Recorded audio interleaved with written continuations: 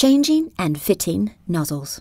The nozzle filter is fitted first into the nozzle body. These filters may have integrated seals. If not, then O-ring seals will be supplied. Cone nozzles are in two parts. Each part can be disc-shaped with holes.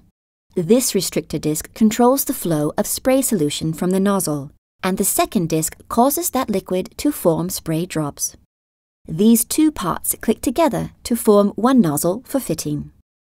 Reflex, standard flat fan, and even spray nozzles are all single components that are fitted to the nozzle retaining body by a screw-threaded or bayonet cap.